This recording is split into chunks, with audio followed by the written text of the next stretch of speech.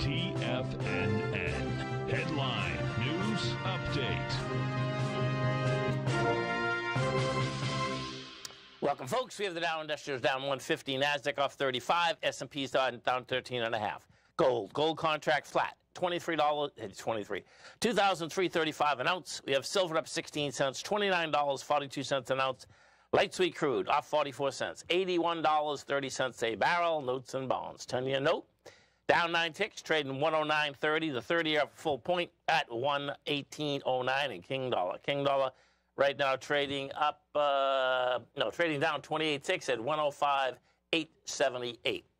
You got a failure on price and volume, folks, right across the board here. In fact, if we look at, uh, if you want to see, uh, we'll see whether this ends up being a double top. But you talk about the cues, how they tested. This is pretty intense.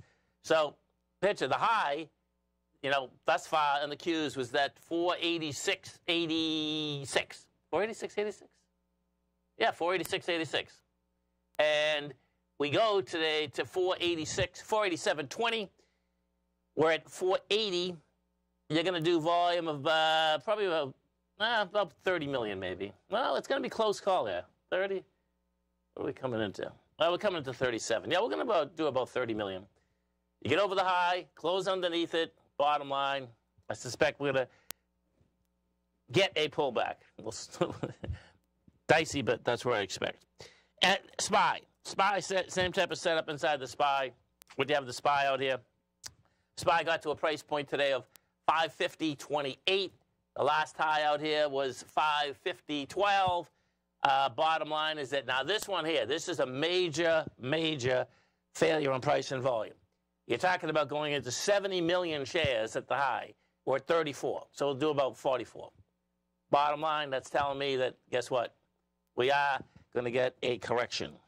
Notes and bonds. Notes and bonds, they flipped around also. Bottom line, they look like they also want lower price, higher yield. We're going to take a look at the 10. The 10 traded to 110.16.